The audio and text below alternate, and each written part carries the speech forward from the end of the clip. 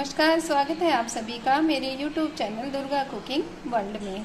आज हम बनाएँगे फली और आलू की सब्ज़ी। यहाँ जो मैंने फली ली है, ये चौलाई की फलियाँ हैं और इस सब्ज़ी को बनाना बहुत ही आसान है। और आप इस सब्ज़ी को मिनटों में बना के तैयार कर सकते हैं तो आइए शुरू करते हैं इसको बनाना। चौलाई की फलियाँ ले ली हैं और इनको हम इस तरह से यहाँ मैंने धो के साफ़ करके और आगे पीछे से इसको अच्छे से कट कर लिया है।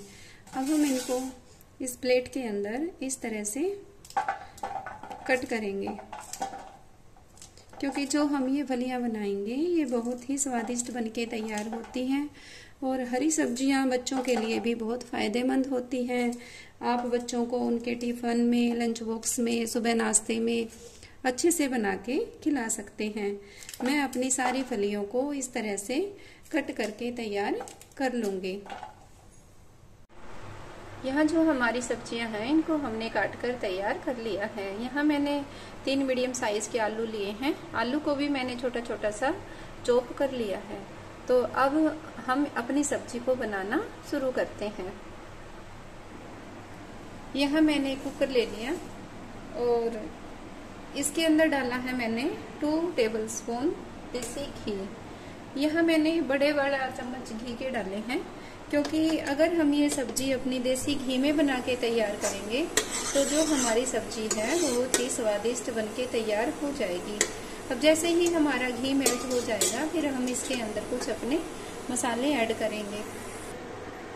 अब जो ये हमारा घी है, ये अच्छे से मेल्ट हो चुका है। अब हम इसके अंदर डालेंगे जीरा।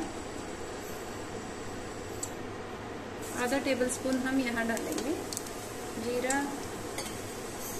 और आधा टेबल स्पून ही मैं यहाँ डालूँगी। भरदरा पिसा हुआ धनिया। और साथ में मैं यहाँ डालूँगी दो तेज पत्ते। थोड़ी सी हम यहाँ डालेंगे हींग।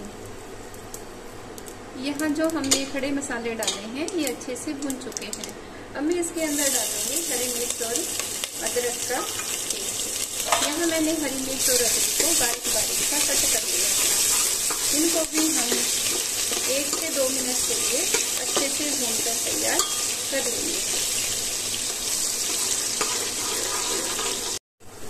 अब जो ये हमारी अदरक और हरी मिर्च है, ये अच्छे से भून चुके हैं। अब हम इसके अंदर डालेंगे प्याज।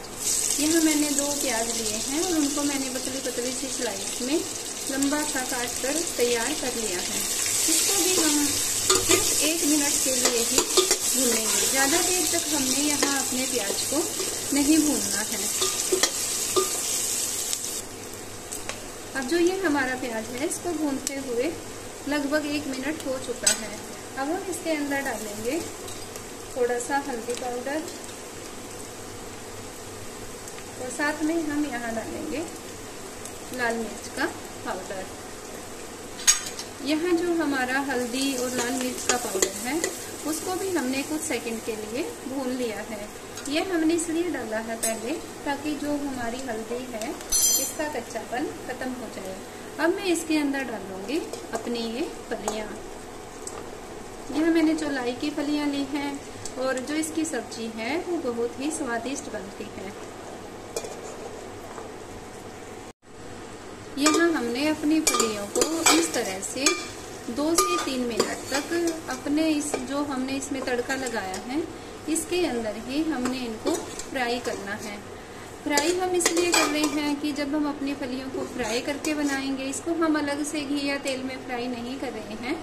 जो हमने तड़के के लिए घी डाला था, उसके अंदर ही हम इसको फ्राई कर रहे हैं और इसको हमने इसी स्टेज पर दो से तीन मिनट तक कंटिन्यू चलाते रहना है।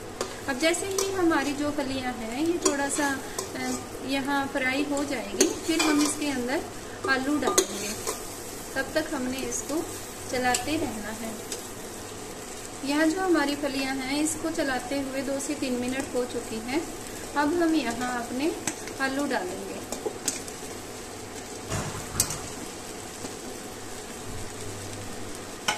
फिर हमने यहाँ अपने आलूओं को भी अपनी फली के साथ एक से दो मिनट तक इसी तरह से चलाते हुए अपने आलू को भी फ्राई करना है। इसी तरह से गैस की फ्लेम को हम यहाँ लो मीडियम रखेंगे। यहाँ हमारी फली को और आलू को हमने भूनते हुए लगभग पाँच मिनट हो चुके हैं और जो हमारे आलू हैं, ये भी अच्छे से फ्राई हो चुके हैं। अब हम इसके अंदर डालेंगे टमाटर। यहाँ मैंने दो टमाटर लिए हैं, उनको मैंने पीसीज में कट कर लिया है। अब हम टमाटर के साथ ही इसके अंदर डालेंगे नमक। नमक आप अपने टेस्ट के अनुसार यहाँ कम या ज़्यादा कर सकते हैं। अब हमने इनको चलाते हुए इन नमक और टमाटर को अपने कुकर के अंदर अच्छे से मिलाना है। साथ में मैं यहाँ डाल रही हूँ धनिया पाउडर। यहाँ हमने कुछ ज़्यादा मसालों का यहाँ प्रयोग नहीं करना है। बिल्कुल सिंपल तरीके से भी हम अपनी सब्ज़ी को अच्छे से बना के तैयार कर सकते हैं। अगर आप भी मेरे चैनल पर नहीं, नए हैं और आपने अभी तक भी मेरे चैनल को सब्सक्राइब नहीं किया है तो पहले आप मेरे चैनल को सब्सक्राइब करें और वीडियो को शेयर करें और बेल आइकन का बटन दबाना न भूलें ताकि आगे आने वाली वीडियो का नोटिफिकेशन आपको मिल जाए। अब इन सारी चीज़ों को हमने अपने कुकर में अच्छी तरह से मिला के तैयार कर लिया है। आप चाहे तो इसे खुले बर्तन में या फिर ऐसे भी पैन में भी इसको आप बना सकते हैं। लेकिन मैं यहाँ कुकर में इसको इसलिए बना रही हूँ क्योंकि मैंने थोड़ा जल्दी है सब्ज़ी बनाने की। और एक सीटी लगाने तक ही हम इसको पकाएँगे।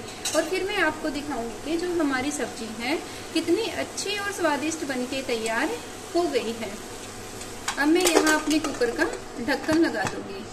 और इसमें एक सीटी आने तक ही हमने इसको पकाना है क्योंकि हमने अपनी फली को और आलुओं को पहले फ्राई कर, कर लिया था। ये 40 परसेंट तक जो हमारी आलू और फली हैं अच्छे से पक चुके हैं। अब जैसे ही हम इसमें एक सीटी लगाएँगे तो हमारी सब्ज़ी बहुत ही अच्छी बनके तैयार हो जाएगी। अब आप देखिए जो ये हमारी सब्ज़ी है, कितनी अच्छी सी बनके तैयार हो चुकी है। आप इसे पराठे के साथ, रोटी के साथ आसानी से खा सकते हैं और बच्चे भी इसे बहुत खुश होकर खाएँगे।